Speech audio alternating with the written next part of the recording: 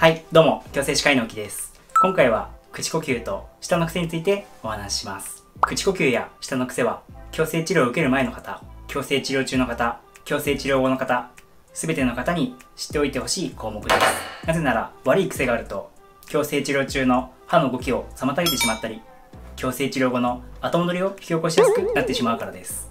この悪い癖っていうのは本当はすっごく大事なことなんですけれども時間をとって説明を受ける機会はなかなか少ないのかなと思います。診療時間の限られた時間の中で装置の調整や歯のクリーニングをしないといけないのでどうしても悪い癖の対処は後回しにされがちになってしまいます。今回の動画を見ることで口呼吸や人の癖と歯並びの関連性口呼吸のデメリットについて把握することができるかと思います。他にも歯並びや歯列矯正に役立つ内容を解説しておりますのでよろしければチャンネル登録をお願いしますでは一緒に見ていきましょう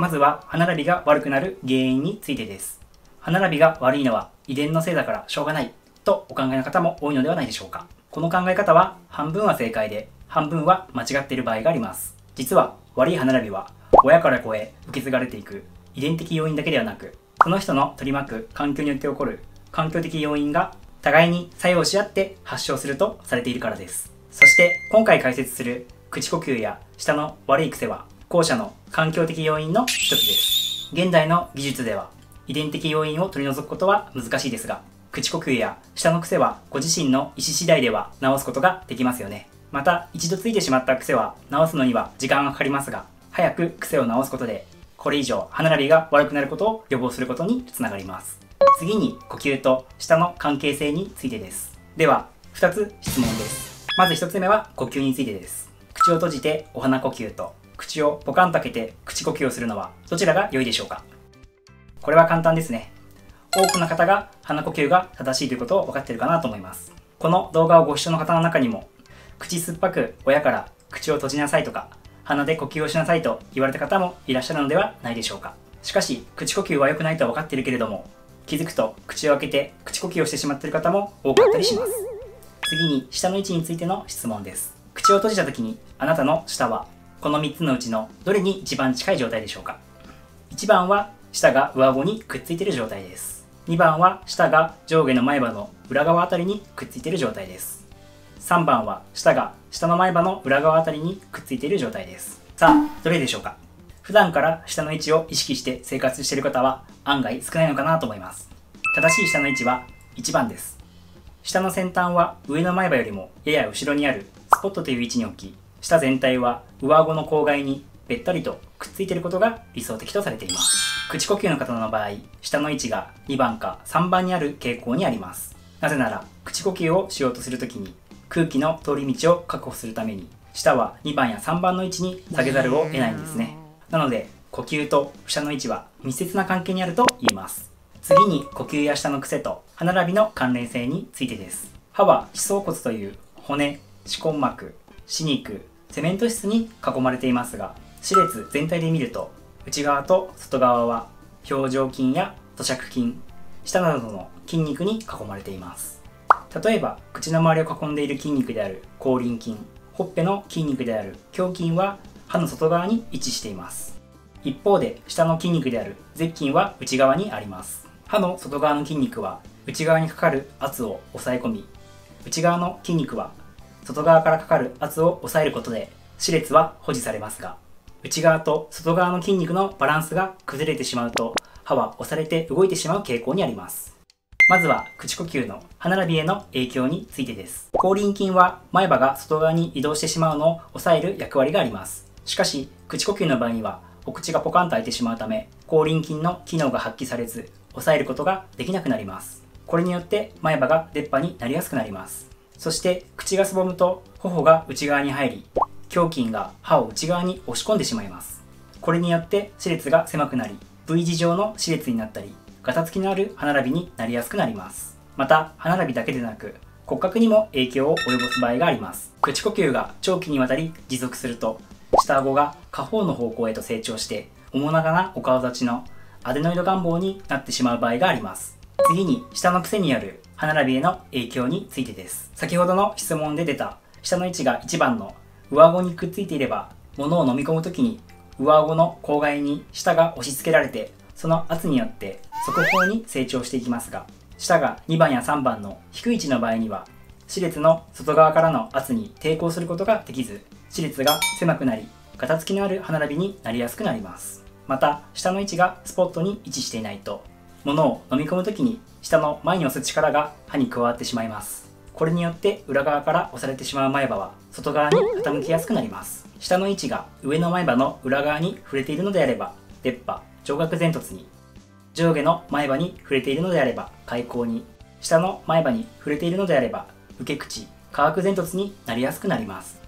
口呼吸だけでなく下の癖も骨格に影響を及ぼしてしまうことがありますのでどちらも直すことが大事かなと思います。次に口呼吸の原因からタイプ別に見てそれぞれの直し方を見ていきましょう。口呼吸の原因は大きく3つ考えられます。1つ目は特に悪い原因はないけれどもなんとなく普段からお口をポカンと開けてしまい口呼吸をしてしまう。習慣性口呼吸のケース。2つ目は歯並びや顎の発達の問題で口が閉じにくく口呼吸をしてしまうケース。3つ目はアレルギー性鼻炎。鼻中隔湾曲症。扁桃肥大などによって鼻呼吸が難しくて口呼吸してしまうケースです。以上の3つのうちのいずれかまたはそれらが組み合わさって口呼吸が起こってしまっていることが予想されます。1の習慣性口呼吸の方の場合には普段から口を閉じる習慣がないため口周りの筋肉や舌を上に上げる筋肉が衰えていることが考えられます。その場合には MFT 口腔筋機能訓練という口周りの筋肉の筋トレのようなものをやると効果的です。そして普段から口を閉じて舌を上に上げることを意識することが大事です。これを繰り返すことで徐々に改善されてくるかと思います。2番や3番の場合には原因を取り除かないと口呼吸から鼻呼吸へと切り替えることは難しいかなと思います。先ほど口呼吸が歯並びに影響すると説明しましたが逆のパターンで歯並びや骨格が原因で結果的に口呼吸になってしまう場合があります。例えば出っ歯や口ごぼうの方は唇が閉じにくく口呼吸になりやすいです。そして口呼吸によって前歯がさらに外側に傾いてしまい歯並びがさらに悪化してしまう悪循環に陥ってしまうことがありますので歯列矯正によって口を閉じやすくする環境を作ってあげることが必要となります。3番の場合には耳鼻咽喉科での診察やご自宅での鼻うがいなどが対処法として考えられます。扁桃肥大は10歳から12歳頃がピークでそれ以降はだんだん小さくなるため経過観察となることが多いようです。2番や3番の場合には原因を取り除き中または取り除いた後に MFT や意識づけが大事になってくるかなと思います。最後に口呼吸のその他のデメリットについてです。口呼吸は歯並びや顎の発達に影響を与えるだけでなく様々なデメリットがあります。一つは口の乾燥です。口の中の唾液は悪い細菌をやっつけてくれますが乾燥することで細菌が繁殖してしまい虫歯歯周病口臭を引き起こしやすくなります。2つ目は鼻の機能が発揮されないことで全身に影響が出てしまう可能性があることです。鼻には吸い込んだ空気に含まれるホコリやウイルスをろ過して異物が体内に侵入することを防いでくれるフィルター機能があります。これによって風邪やインフルエンザなどの病気にかかりにくくしてくれます。さらに鼻に入った空気は適度な温度湿度に調整されて肺へと送られていきますので酸素が効率的に取り込まれるのと同時に肺を保護してくれます。このように鼻には空気清浄機加湿器エアコンのような役割をして私たちの体を守ってくれますが口呼吸ではこの機能が使えてないことになりますのでもったいないですよね。これ以外にも口呼吸は猫背集中力の低下睡眠時無呼吸症候群うつ状態を引き起こしやすいなど様々なデメリットがありますので口呼吸から鼻呼吸へと治すことは大事だと言えます。いかがでしたでしょうか？呼吸と舌の重要性についてご理解いただけましたでしょうか？歯並びを悪くする悪い癖は口呼吸や舌の癖だけでなく指しゃぶりや爪を噛む癖唇を噛む癖頬杖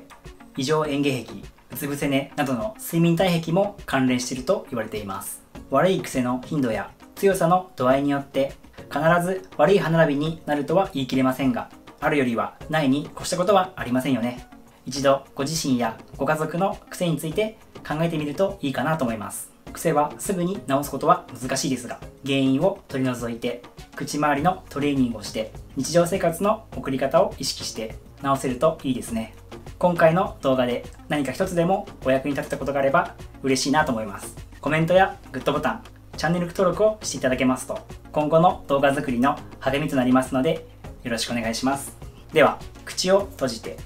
ベロ全体を上顎の口外にくっつけてベロ先端をスポットに置いてお鼻呼吸をして日常生活を送るようにしましょう。最後までご視聴いただきありがとうございました。